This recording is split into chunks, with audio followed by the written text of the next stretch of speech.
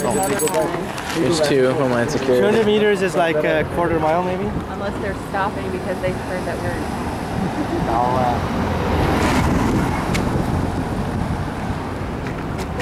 So really, it's down this road.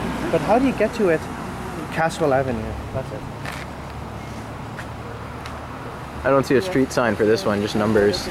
See, a lot of these streets here, like they'll have numbers, addresses, but then they'll also have, uh, like there's a number, but then it might also have a local name, like Caswell Street or whatever it is.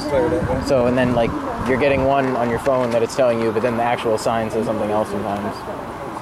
Hmm.